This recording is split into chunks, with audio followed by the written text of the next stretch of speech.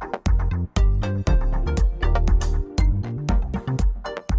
How's it going everybody? My name is Warner Fields with Fields of Profit. I'm a six-figure Amazon seller and full-time student and in this video I'm going to be diving into a software called Flipmine. Um, whether you, you may or may not have heard of it before, basically what it does is it flips um, items off of eBay and it kind of calculates your profit and stuff and you can then flip those items on Amazon. They're also implementing a Walmart feature which I'll kind of briefly cover um, but it's still in beta and stuff so it's not super ironed out yet but I've really been liking the eBay to Amazon side of things um, especially if you're a beginner and don't have a ton of money to spend this is a great way to dip your toes in online arbitrage for you to eventually get into um, more volume OA model with Walmart and that kind of stuff. Um, I really think that books from eBay are a great place to start with online arbitrage. So we're going to go ahead and show you how I would source books using this software. Um, real quick, if you guys want to check out um, down below, there's going to be a link to my free Discord. It's completely free. Um, there's over 3,000 people in there. Um, you can ask questions. Uh, we have occasional Zoom calls. There's ungating, chatter, all kinds of good stuff. If you guys want to go ahead and check that out, that's down below. Let's jump into the video. So the first thing you're going to want to do, um, we're we just opened up Flipmine here. We've got no filters in. Um, at this point, you're going to want to type in some filters that work for you. Uh, I've got a good filter set that I'll go ahead and share with you guys here. Um, it's called textbooks, but I'll kind of run through why I do what I do here.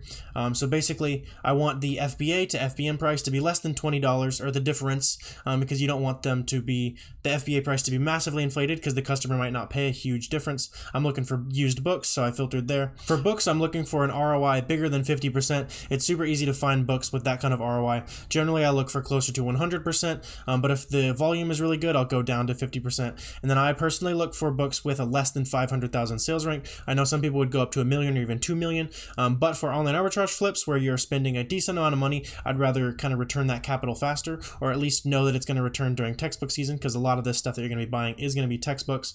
Um, and you can also actually subcategory down into textbooks if you want to. I generally do just because I like to spend more money at once on each book. If you want to buy cheaper books, that's definitely there for you. Um, but there's also some cool features with the prices it actually pulls. Um, so you can see here we've got the um, condition. You can type in whatever condition you want. Um, the uh, value type is very cool. It takes the moving average rather than um, the that exact moment. That kind of allows you to get rid of a lot of um, outliers. So let's say the book has been selling for ten dollars for quite a while. All of a sudden, it's selling for a hundred. You don't want that to be pulled up on here because um, that's just going to be junk, right? Um, and then you can also actually do the same with um, Amazon BSR. So see your sales rank. So instead of just pulling a momentary sales rank, it'll actually pull the moving average, which is really nice. Um, so you know that that product is actually selling. Um, but yeah, with those set up, um, if you guys want to go ahead and check out Flipmine, uh, there's going to be a free trial down below real quick. Um, but let's go ahead and jump into just a couple books here. I, I, I haven't scripted any of this, so, so let's see what we can find here. Um, so you can see over here the I've got it sorted by date listed. Um, generally, some of this stuff will go out of stock pretty quick because it's good deals. Um, so you can see here this book already went out of stock over here. It might be a little bit difficult to find books to flip right now, given that it is September 1st. Schools are still coming into session and stuff, so textbooks are probably at peak value right now. Um, so we'll see what we can find, but maybe there's not going to be a whole lot right now. Um, so we're going to go ahead and jump into this one right here. This one we would be buying for 29. Um, we're looking for um, probably a double double the uh, price on this one. So if you want to do a 50% ROI, you're going to want to look for generally double the price you're spending it or buying it for. Um, and then if you want to 100% ROI, you're going to want to look for triple the price. That's just kind of like a good rule of thumb. But you can always use um, FBA calculators and stuff like that to figure it out for sure. Um, so this one on Amazon right now is going for 29. So I'm just going to go ahead and pass on this one. There's no textbook pattern either, so it's not likely to increase in value or in value. Um, this one we're looking at $19 here. Um, on Amazon, we can rent it for 19, so that's a good sign that the rental price is the same price. Um, looks like the price has actually gone down significantly lately, um, so we're going to keep going here. Let's see here. We got an acceptable copy, so you may want to avoid this. You could read the description and stuff. Um, let's see what they say. So it could have damage. Um, it has underlining possibly. So if, if this is a workbook, um, this looks like it might be a workbook. Um, you might want to avoid this, and it's also um, only selling for $5. I'm not quite sure why that one got pulled up, um, but we're just going to keep on chugging along here. Let's check this one. This one sold out, um, so this one was going for $40. Um, and let's see, just for fun, see if it was um, a good find. So it looks like it's actually almost out of stock on Amazon. They're having troubles uh, keep it in stock, or the Keepa is just broken. Something something weird's going on there. Um, let's keep going here. We've got this one for 670. Um, you can rent it for 12, so that's a good sign. You can buy it for $4, so that's not great. Um, yeah, we're going to keep on going here. Um, so let's go ahead and check this one out. $8. Um, looks like it's going for um, possibly and right there. So this could be something interesting. Um, so this one just recently tanked in value, um, but there's no reason that it would have tanked other than someone just really desperately wanted to sell this book. Um, so you could actually get on this listing. Um, I'd imagine that this price recovers just because the sales rank hasn't changed and the number of sellers hasn't really changed. So this price will probably recover. Um, so we would be able to sell it for, um, so this is going to be $15 plus the $4 shipping typically. so you'd be able to sell it for um, what's that? About twenty dollars.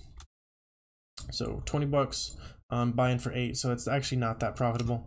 So those filters were pulling up a decent amount of junk there, so I went ahead and edited this to lowest offer and 30-day moving average, just to try to find some new stuff here. Um, so with these softwares, it's all about tweaking your filters, right? Same with tactical arbitrage and all those other softwares. It's all about making sure you have the right filters on. Um, so I went ahead and tweaked the filters there, and I found a couple that are interesting. I'm gonna check this one here real quick. Where this one's going for 33.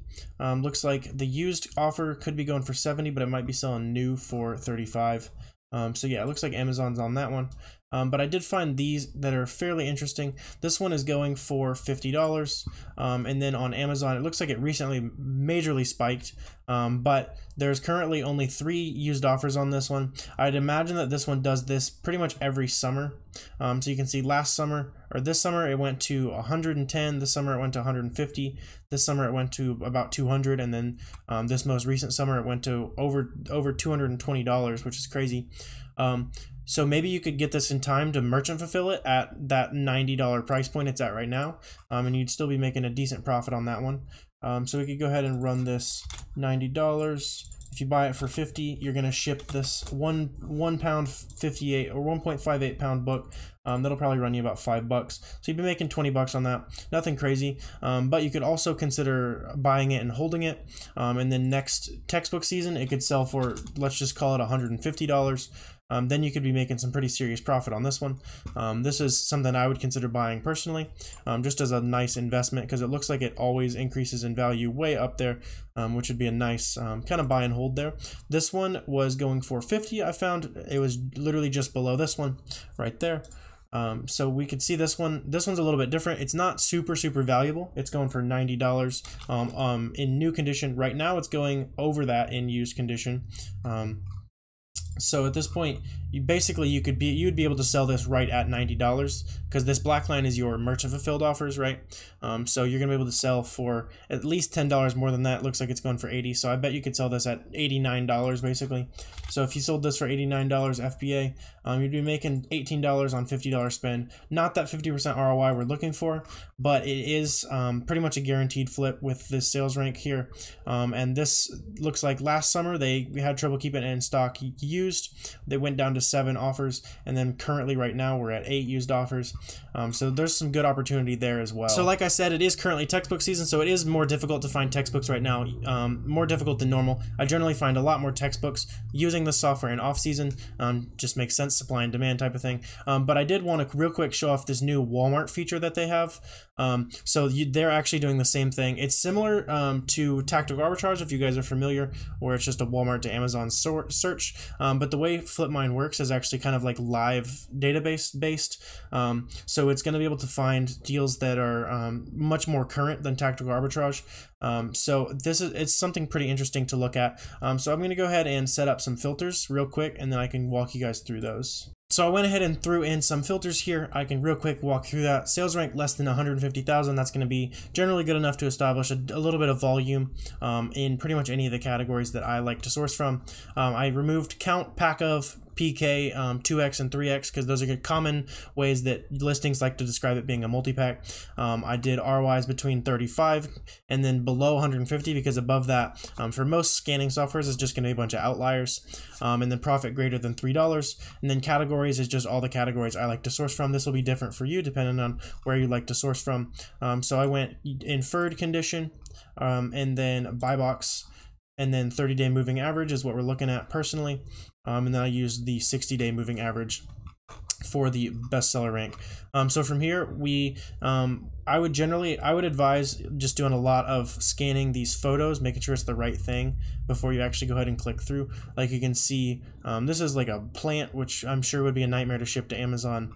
Um, this is two cameras, that's one. Um, this looks like it could be the same thing. We can go ahead and check this one out here. Um, so we're looking at Walmart. It's the 8-inch model. Um, this is going for $5. Um, this is going for 13.50. Let's check the Keepa out. So it's selling pretty slow, and it looks like someone's actually selling it for $6.99 free shipping. So we're going to go ahead and move on here. Um, let's go ahead and see if we can find anything great here. Um, one really cool feature I like about Flipmine is they have this remove feature where you can actually remove all the gated options. So like just like that with the click of a button, there's no more gated items here. That I, um, it kind of as long as you have your Amazon seller account open up in another tab, it knows whether or not you're gated in that category, which I think is really cool. Um, so we can go ahead and check this one out. I'm I'm, I'm wondering if Klean Kanteen would be um, kind of an IP complaint issue. Yeah, so right there, my IP alert Chrome extension warned me that um, this brand files IP complaints. Um, if you don't have IP alert, um, it's an awesome tool for doing online arbitrage. That's going to be a, there's going to be a link down below for that. It's going to be a coupon for you guys. Um, but let's see if we can find one good product. Um, I honestly haven't done a lot of digging into this because it's a pretty new feature. this one looks like it's probably a count mismatch. Yeah. Um, but I haven't I haven't found anything. I like this came out very recently, so I'm I'm exploring it on camera with you guys right now. Um, so let's see if we can find something here. So I did find this here. This is out of stock, um, but on Walmart, it's a nice opportunity where you can just press this get in stock alert and then actually get a email when this when these products come back into stock uh, because this one looks like it's pretty limited. So if it came back into stock, you'd be able to sell it um, for about forty dollars. It looks like so that'd be a nice little come up there. Um, so there might be some work left to do on Walmart. I won't waste you guys' time here. Um, but there's the options there. It's in beta still. Uh, so I'm sure they'll be working on those, um, getting this up and running pretty quick. Um, let me actually, this one piqued my interest actually. Um, see if I can find one good lead just to show you guys that this software does actually work. Um, looks like we might have found a winner here. this is $6. and then over here, it's going for uh, 17 FBA. Yeah, looks like about 17 FBA. Um, so this was six. Um, so it's not a major winner, but nonetheless, we do have profit. It is possible to pull profit out of here. The ROI on this one's actually pretty good. Um, almost a 50% return on investment here because you can get sales tax exempt from Walmart. Um, the margin's not fantastic, obviously, but um, there's you, you, can pull some winners out of here. It's nice to know. Um, but yeah, there's there's Walmart. I, I, personally still prefer the eBay method myself, but um, they're adding Walmart, so there's um, really increasing the value of this tool for you. So I hope you guys enjoyed this tutorial of Flipmine. Um, if you guys want to go ahead and check the software out, there's going to be a link down below. Like I said, it's going to be a free trial for you guys. If you guys could hit subscribe, hopefully I've helped out your business in this video. If you could help mine out and hit that subscribe button, that would be awesome. Um, and if you have any questions, I'm happy to answer those below. Um, but until next time, uh, thanks for watching, guys. Have a good one.